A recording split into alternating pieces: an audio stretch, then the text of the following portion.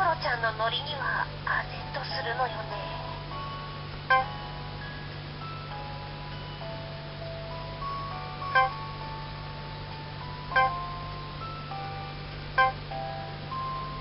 クロちゃんの世界を私たち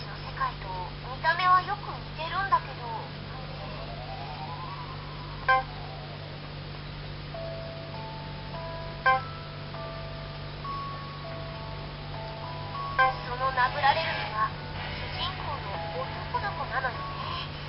それも何度も何度も渡月きのバットで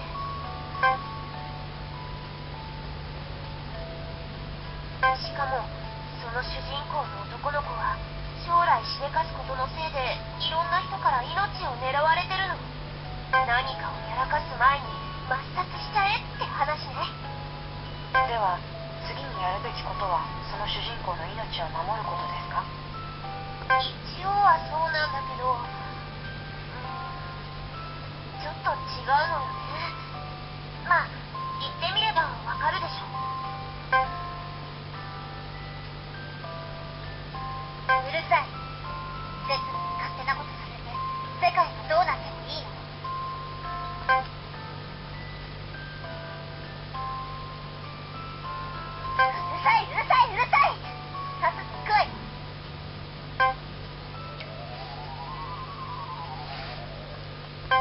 の忘れ物でもしたの？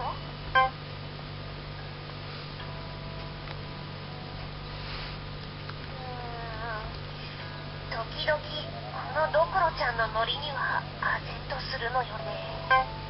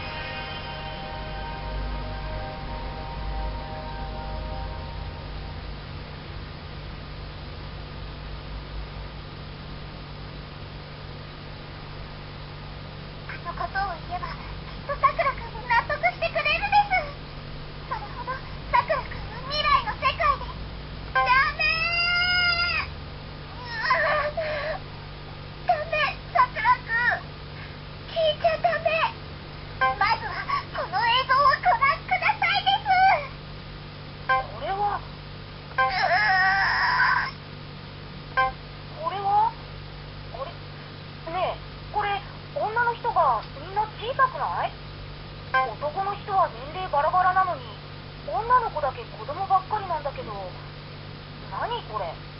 実はこれは未来の